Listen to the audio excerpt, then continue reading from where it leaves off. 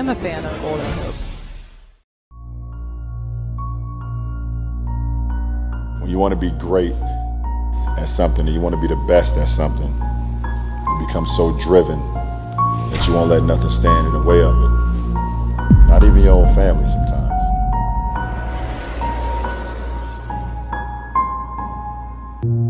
That's the, that's the difficult part that we deal with as professional athletes and when you want to be great.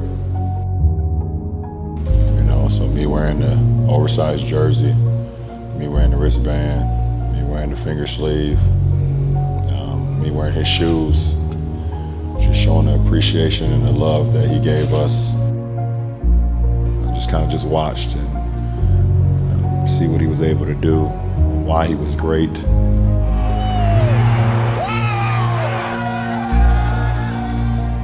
why he was successful in this league reasons why you know he was you know one of the best players in the in the world you know year after year after year.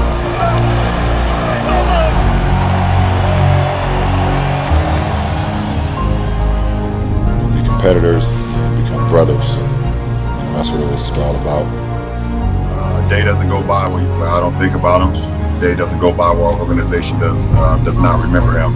Well, it's always special to be able to represent someone that meant so much, not only to the game, but obviously to the Lakers organization for 20 plus years.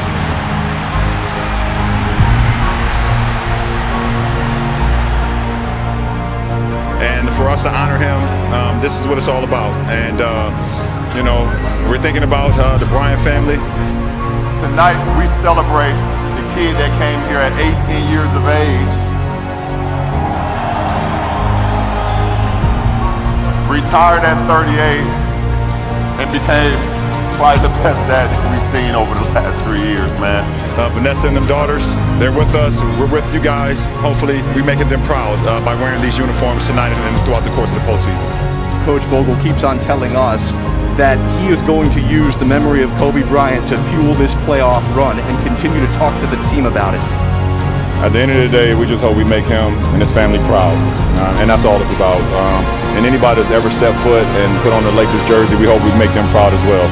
That's what we're trying to do, and it's our responsibility to hold that with the utmost responsibility and utmost respect. Still to be happy about. Job's not finished. Job finished? I don't think so. The job is not done. I'm gonna continue to get the work in. I'm gonna continue to not sleep until the job is done.